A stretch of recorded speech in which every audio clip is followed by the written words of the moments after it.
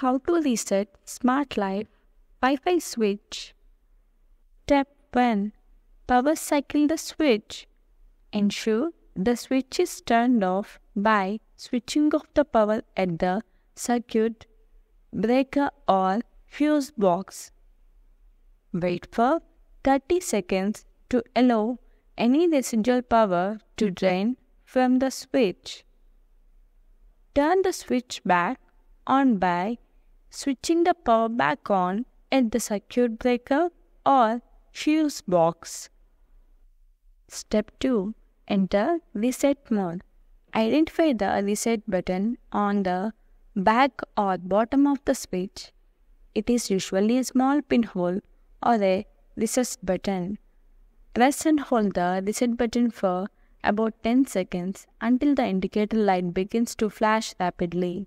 Release the reset button once the light starts flashing. Step 3. Connect to Wi-Fi. Open the Smart Life app on your smartphone or tablet. Tap the plus icon on the right top corner of the app to add a new device.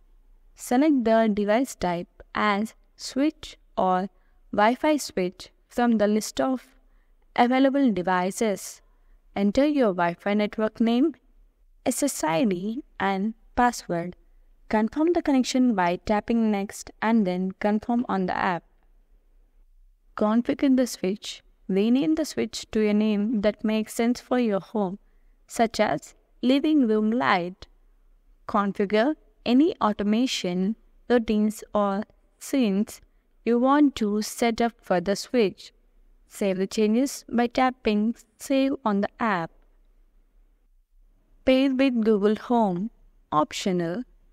Open the Google Home app on your smartphone or tablet.